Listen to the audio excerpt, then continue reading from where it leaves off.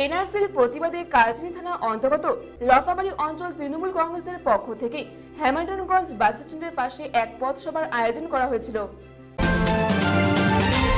এনআরসির প্রতিবাদে কালচিনি থানা অন্তর্গত লতাবাড়ি অঞ্চল তৃণমূল কংগ্রেসের পক্ষ থেকে হ্যামিল্টনগঞ্জ বাস স্ট্যান্ডের পাশে পথসভার আয়োজন করা হয়েছিল। এদিনকার এই পথসভায় উপস্থিত ছিলেন তৃণমূল ব্লক সভাপতি বাবলু মজুমদার, পঞ্চায়েত সমিতির সহসভাপতি বাবলু মুখার্জি সহ প্রমুখগণ।